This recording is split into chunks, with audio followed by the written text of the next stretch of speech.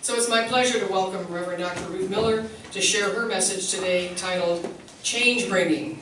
It's a word she's coined, and I'm not going to argue with her. So uh, please welcome Reverend Dr. Ruth Miller. Everything is good. Everything's good. That's what I love about it. Everything's good. Everything is good. And this way I can see all of you. It's marvelous. All right, hey, the tech works, well done. Hmm, so we have this packet that we're given every month, thanks to Judy who does this work, that's um, put together by members of the UUA that's you know, ideas for the topic. And in the packet was this amazing quote that is in the description in your order of service, but this is part of it. Each of us, through our actions, our thoughts, our work, and relationships, is midwifing a new world into existence. Yeah. Now that's not entirely a new concept. But it's really marvelous for us to realize that we are not subject to the world out there, but that the world out there is subject to us. Yes, especially at election time. I was, yeah, holding my breath. Actually, I wasn't. I was holding the image of cooperative, bipartisan decision-making at every level for the last week. I think we got a little closer to that. Yes. So, we've been born and raised and trained and part of a 6,000-year-old strange glitch in human two-million-year history that I call empire culture. And some of you have heard too much more about this, but we're going to summarize it anyway. So the first empires were formed about 4000 BC. The ideas that are the essence of what I call empire culture came into the power, literally. And every empire has always used up everything around it, then expanded to use that up, and then expanded to use that up, and well, where are we going to expand to? You know, we're in a global empire culture now. There are a few holdouts hiding off in mountains and, and you know, certain river valleys and wherever, islands, where they are actually living something more like an earth-centered, balanced, sustainable culture. But at least 80% of what's going on on the planet is our imbalanced way of being that tends to destroy everything around us, psi. You know, we were called, told it's called civilization. It's interesting. I was using a video of a quote, or a clip of Deepak Chopra yesterday, who was saying, our whole human universe, our whole human civilization is the function of our thoughts. And he said, I don't think we can call it that anymore we're not exactly civilized. Deepak Chopra. all right. And historically, not only has every empire done all of that, they've been taken over by another empire. you can look at it, just one after another, after another, after another, all the way up through the Roman Empire, which has been extended through the Roman Church, but also was, most of it was taken over by the Muslim empires for a while. And then, you know, we had the individual empires growing out of the nations within the Roman Empire, et cetera, et cetera. Ah, and now it is the hegemony of the U.S. through our media culture and through our economics and through our military presence all over the world. I was on Veterans Day, I was out and about, and this man got up and he said, we don't just make the U.S. safe, we make everybody safe. And I said thank you and didn't get into it. the fundamental values of every kind of empire that has ever been formed is acquire as much as you can. Acquire and then accumulate. Hold on to that build up quantities, hoard. Hoarding is really part of our cultural values. Isn't that interesting? No wonder it's so hard to break out of it. And ultimately, control. Control ourselves, control the people around us, control the stuff, make sure nobody else gets possible access to our stuff. And control nature because, well, nature is out there, red in tooth and claw, and we have to control it to be safe. Which, thank heaven, for about 50 years, we've been learning otherwise. yes. And a huge part of what goes on in every empire is that we throw things away. The tells of the Middle East, the trash heaps of America. I have a friend who says, the wealth of America is in her sanitary landfills. and anyone who's ever looked at what goes into the dump is aware of this, yes. I e-cycle for the communities that we serve up there around Waldport and our little shop. And about every month, I have to load up my whole car full of stuff that's been in the garbage, in the garage, in the barn, whatever, that the, the people don't know what to do with anymore. Old TVs, old tablets, old computer monitors, whatever. We go through, we check to see if we can work with it, and if we can't, I take it down to the folks who send it to Eugene, and then they take it apart and hopefully work with it. but the other piece of that is not acknowledging that there is anything to learn from the past or anything worth hanging on to. Uh, when Ray and Judy were in Italy a few trips back, they went and checked out the village that Ray's family came from. It had been continuously occupied by his family for a thousand years. Can you think of any American that has ever had even close to that experience? I mean, even our native you know, folks are not, have not been allowed to unless they're in the Pueblos and New Mexico. Wow. Thousand years. And you know what's interesting? They still have trees. They still have fertile land. They have clear water. There is a way to live without destroying our environment. What a strange notion. So I've depicted this process that every empire goes through in this sort of fictitious way, but it isn't because it's based on a computer model. But the idea is the population goes down as the death and birth rates go up because all the food and resources is drying up. Right? That's how it works. And the political control systems go down at the same time.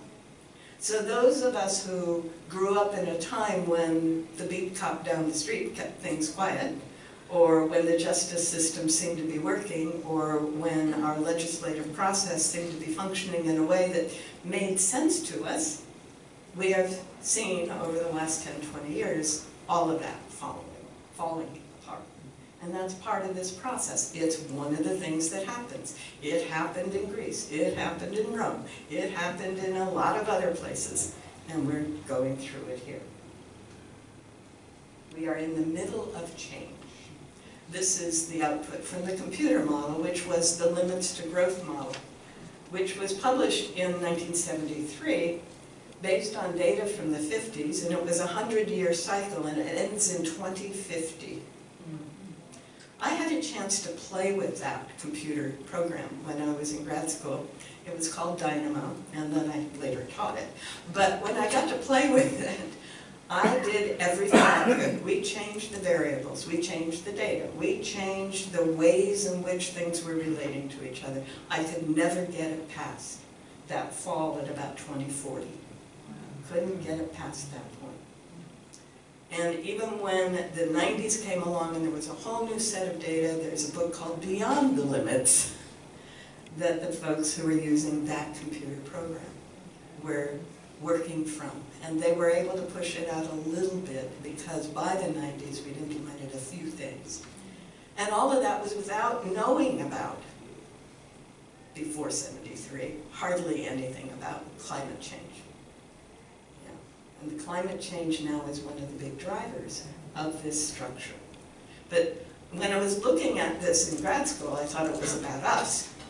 But as I looked at it, as I was doing my historical research, I went, oh my goodness, every single time, this is what happens. Every single time. The Gobi Desert used to be the Gobi Forest. And I love, one of my favorite things is the cedars of Lebanon. Has anyone been to Lebanon? Have you ever seen a photograph of Lebanon that had any cedars? Yeah. Empires use up the resources and desertify the land that they're on. They turn them into deserts. So we are in the middle of this process. We are in what I have recently adopted through some work that I was doing with one of my clients, a liminal state.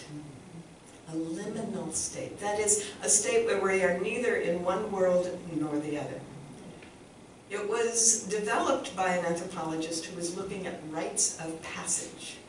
This idea of a liminal state. You know, when you are on the way into this right, you're one group. And on the other side of this right, you'll be in another group. But for now, you're neither. You're nowhere. You're in a liminal state, kind of limbo in a way. You know, it's, it's fuzzy. It doesn't have clear notions and edges and anything else. And if you ever attended one of my seminars where I have this big yellow figure eight thing, infinity, infinity sign, technically it's called panarchy. And the way it works is the seed begins to grow. This grew up in ecology but is applied to any human system as well. The seed begins to grow and as it grows it starts to accumulate relationships with other beings and it, you know, those relationships begin to fall apart and then they start taking on form and more and more and more structure and connection and interconnectivity. And all the time that this is happening, there are all kinds of environmental changes. You know, the wind changes, this weather changes, people come, the people go, animals come and go. So there are these things that are impacting the system this whole time. And then somewhere up here where the structure is so great and it's so interconnected and there is so much bark on the tree, a windstorm comes and the whole thing falls apart. Not any particular unusual windstorm, and you all, probably almost everyone here has dealt with a tree that in that particular windstorm just didn't make it. And that's the point at which the system starts to fall into what we like to call chaos. chaos. Oh my God, now what? How do I deal with this? I don't know how to deal with this, right? what I have observed and learned is that going into the chaos is the liminal state. It's not what it was, but it can be something else. And what we have to do is have a vision of what might be to carry us through the chaos to allow the new state to emerge. And so this cycle goes on over and over and over again into infinity. Panarchy, interesting name. All ruling, every aspect in charge. So where we are is past where that blue line is. that blue line is 10 years ago. Wow. The dotted line was 2000. The little dot down there at the bottom, next to the blue line, that's where we are. Hmm. It's all begun to turn downward. We are in that liminal state. What was cannot continue and is not anymore, really. It's only in some people's imagination. So what has happened historically with human beings is that every few thousand years we come up with another way of living. All right? I said that the empire culture started about 4,000 years ago, 4,000 BC, I'm sorry, 6,000 years ago. And it was a combination of things. We know that that was when the Sahara rangeland lands started to be desertified and people started moving into the Fertile Crescent, the river valleys. There were environmental pressures on people to move into the river valleys, which put greater numbers of people closer together, so a wide-ranging hunting culture couldn't happen anymore. And they had to find other ways of doing things. They did, and formed the beginnings of what I'm calling empire culture in the process. About a thousand CE, about a thousand years ago, something else began to happen within the falling apart of the Roman Empire and the continuing battle between the Roman Church and the Muslims and other forms of expressing divinity. And one of those things was most beautifully exemplified in the Cistercian monks. The Cistercian monks were operating under the rule of Saint Benedict, which says that a few people come together, whoever they were before they became part of this monastery, they are no longer. So they are all equal as brothers in the monastery, number one. Number two, the Cistercians understood that each monastery had to support themselves. And St. Benedict's rule said you spend four hours a day in the work that supports the monastery, four hours a day in work that is spiritual work, and then the rest is in silence in working on your own personal spiritual work.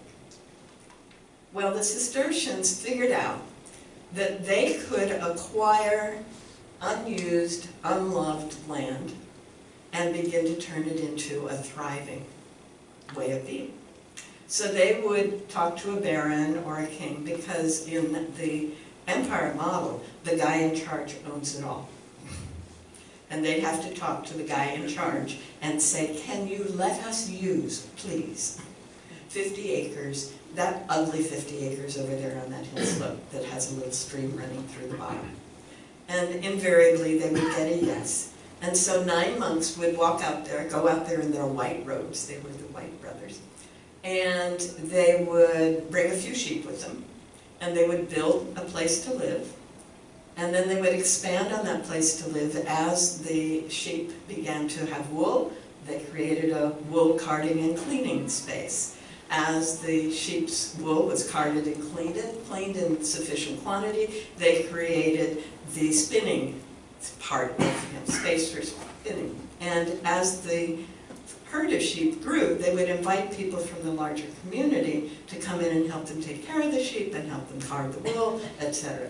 So over about a 10-year period, these nine months would typically be about 40 or 50 months with about 3,000 people observing and participating in what they're doing on a piece of land that the Baron thought was no use at all for the king. So they were basically building an assembly line. And they were using water to power what they were doing. The power from the stream would manage their carding mills and their weaving mills, etc. So they were doing in 1000 BC, 1000 AD, 1000 years ago, they were creating a machine. And there's a wonderful book called The Medieval Machine that talks about that. But more than that, remember everybody in the monastery is equal regardless of who they were. And everyone can read and write because that's part of it. And everyone has a voice. Well, each monastery, although they were part of an order that had the bishop and the pope to tell them what they could do spiritually, elected their own abbot to manage the monastery fiscally and administratively.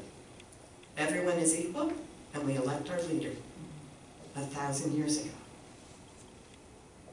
The Cistercians were also, or Saint Benedict and Saint Bernard, both of whom affected the Cistercians, were also helping the Templars form during that same period. These guys who wore white with a red cross. A red cross on a white banner. None of us have ever seen that, have we? Mm-hmm. Out of Geneva, Switzerland, starting about 1400 AD CE, after all of the Templars were wiped out in France, quote unquote. We won't get into that, but something to consider.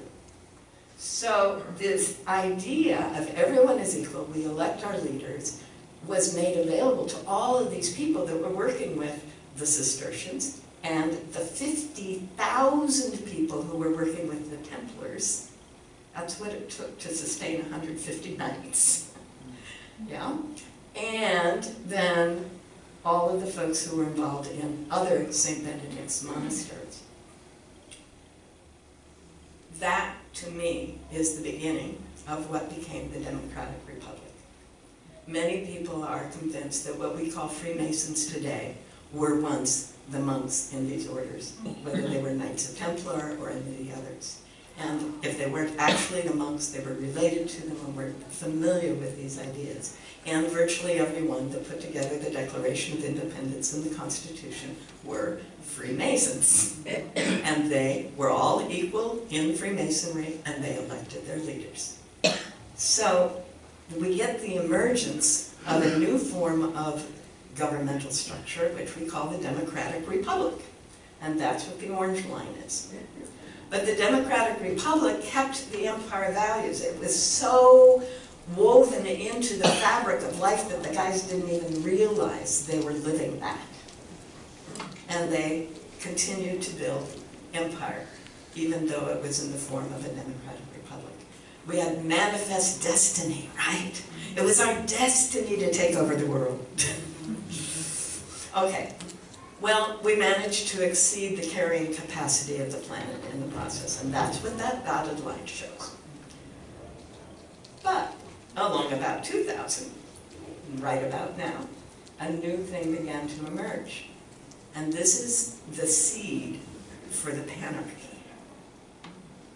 This is what will get us through the possibilities and the upsets that we are dealing with right now.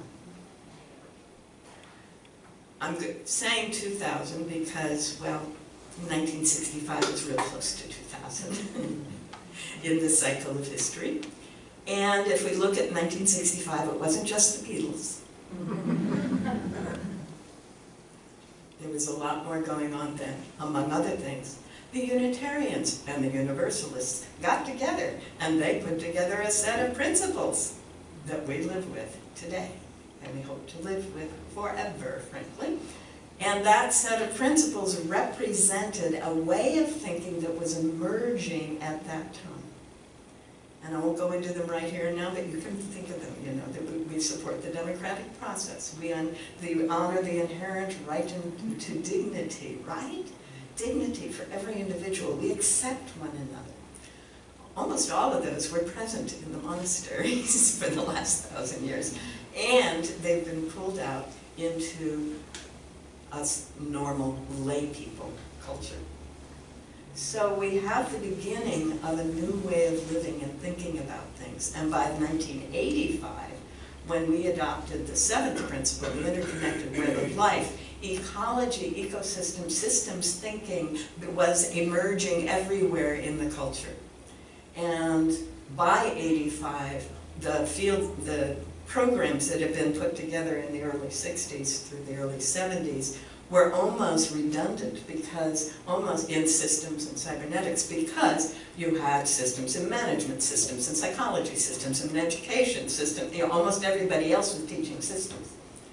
So systems thinking and the fundamental principles of the Unitarian Universalists and ecology emerged in the 60s through 80s in a way that, for me, was the seed of new culture. So we can see it in this way. This emerging culture that we are part of the beginning of, that we are the seeds for, is based on Unitarian principles almost completely.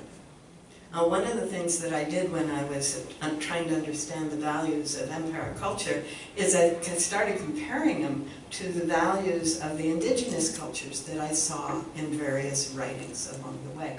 My undergraduate work was in anthropology, so I knew how to go find that stuff. And as I looked at ethnographies and as I listened to people who had actually lived among various indigenous peoples, this wouldn't be a bad summary of indigenous people's values. Isn't that interesting? So what we're likely to be experiencing over the next 25, 30 years, as what we grew up in continues to dissolve around us, is a way of living that is far more like what the people who lived here before us were living like, but with significant differences. And I'm not entirely sure how much high tech we're going to be able to hang on to, but I know that Elon Musk's Starlink is up there so that we don't have to have towers and still can be connected. Isn't that interesting? And I know other things are being put in place for various reasons that are helping us make the shift. And so I'm quite hopeful that even though the culture I grew up in and the culture I was taught was civilized, cannot continue. What is emerging is going to be so much more wonderful and sustainable for generations to come. 75 years is what our culture tends to, historically, over about a thousand years, take to take from one idea that's very weird, not possible, no way, to everybody's knowing it, of course it's normal. 1965 to 2040, 75 years. I'm looking forward to the next 20 years. I don't know about you guys. so, as we go to the breakthrough, which we will have, we must have, we will see everyone adapting to environmental unpredictability. They will build houses that can be quite comfortable in whatever happens, right? And grow food in a way that is not dependent on the kind of weather cycles that were an absolute freak between 1955 and 1965. My mother was a geologist and geographer, I'm sorry, and she would go, people don't understand. no, we didn't. And we're going to see more and more local government having more and more to say about what is going on, and less and less being driven by the federal or international government relationships. And we're going to have more and more households be essentially self-sufficient, but not in the way of you know, dirt farmers from the 20s, right? We're not talking about that from 100 years ago. We're talking about a way of living that, as with St. Benedict's rule, takes about four hours a day to take care of all of your food, clothing, housing needs. Wow. That would feel really good. It should be 72 hours a week. right? And then limited access to high tech.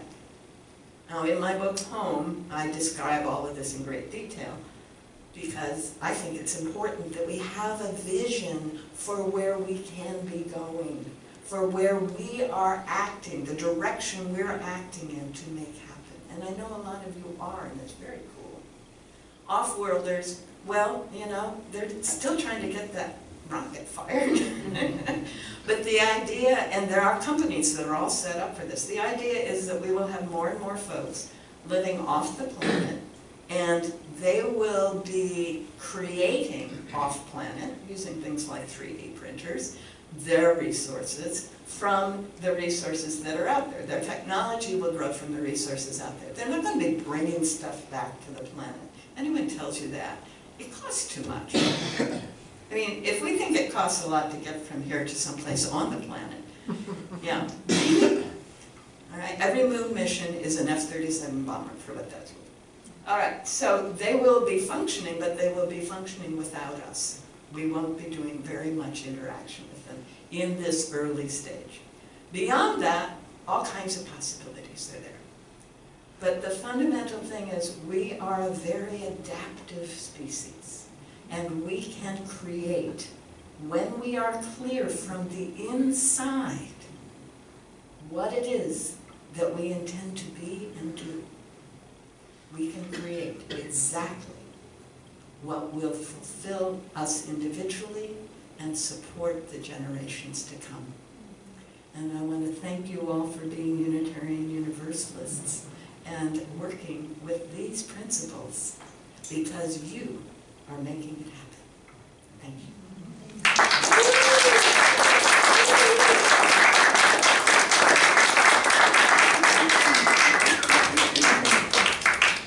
You're very kind.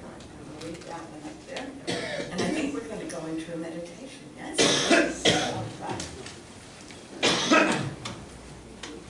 And Sally's going to hit the lights.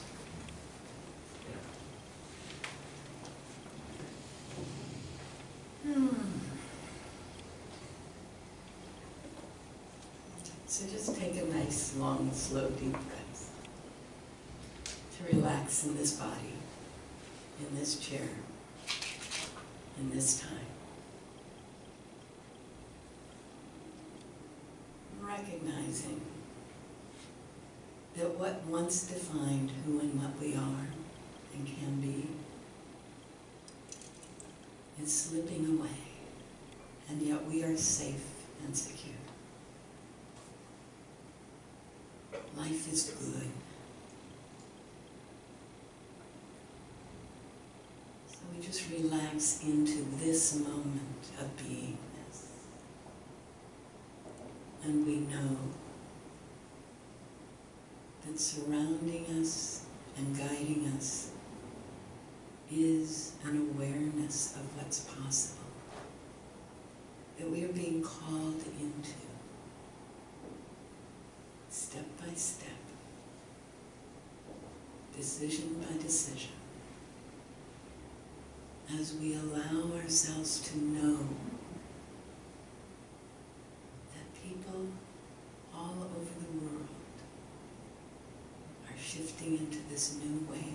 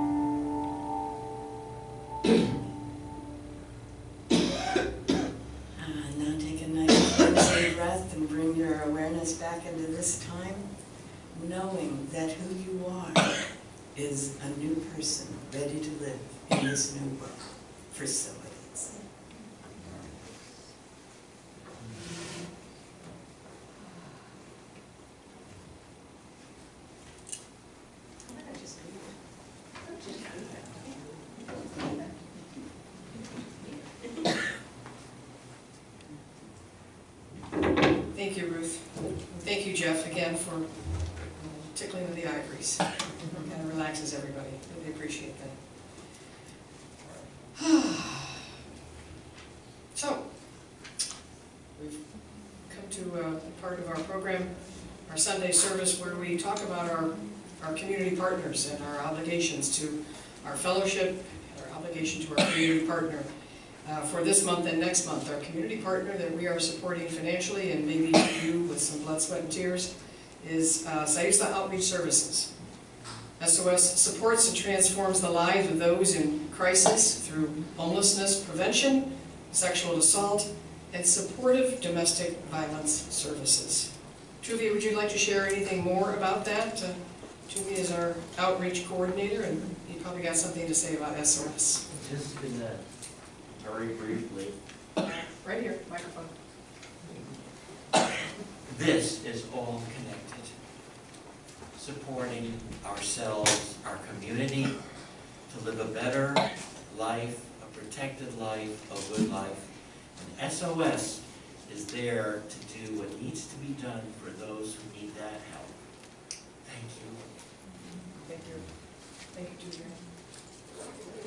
So your contribution to SOS can be placed in our basket. We have got a basket that serves two purposes. SOS, as you can see very nicely, and Florence Unitarian Universalist Fellowship on that side. There are some envelopes and receipts in the middle if you'd like to take that uh, as well. So, um, yeah, so as we begin this, Catherine, will you help on this side, and Julie, will you help on this side? Thank you. As we begin, I ask that you repeat after me. Divine love through me. Divine love through me, Blesses and multiplies all that I am. blesses and multiplies all that I am, All that I give. all that I give, And all that I receive. and all that I receive. I am prosperous now. I am prosperous now, And blessed be. blessed be. So as the basket is being passed among you, if you are unable to contribute to one or both or either, that's fine. Just pass the basket to the next person and bless it with your love as it goes its way. And for those listening, thank you. And for those listening at home, if you'd like to make a contribution, you can mail us a, a check to P.O. Box 2502, Florence 97439, or anyone can go onto our website and click the donate button, and it will take you to either PayPal or your preferred credit card.